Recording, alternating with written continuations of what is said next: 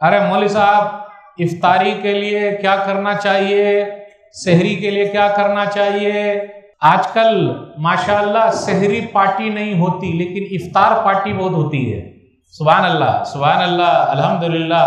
सरन तिरमजी, किताब हदीस नंबर 871 मन फत्तर साइमन, कान लहु मिस्लु अजर गैर अन्नहु ला यनकुसु मिन शैया जिसने किसी को इफ्तारी कराई, रोजादार को, जो रोजा नहीं है, उसको नहीं।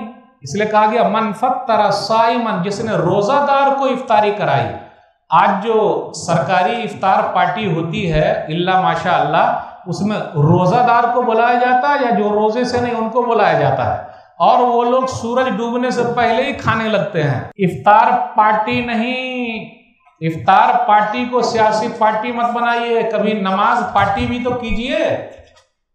नमाज़ पार्टी कब होगी? आइए आइए, नमाज़ पढ़ने के लिए आइए। रोजादार को इफ्तारी कराना है। हदीस में आया, जिसने रोजादार को इफ्तारी कराई, पगड़ी बांधने के लिए नहीं, फ़ोटो खींचने के लिए नहीं, अखबार में देने के लिए नहीं। माशाल्लाह, खाइए खाइए इफ्तारी, खजूर खाइए। खाइए ना खजूर।